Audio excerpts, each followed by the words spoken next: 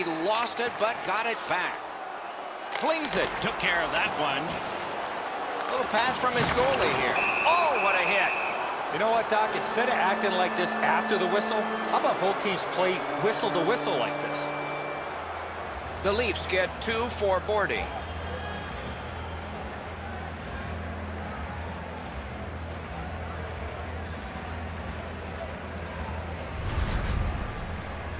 Yeah, as you can see here,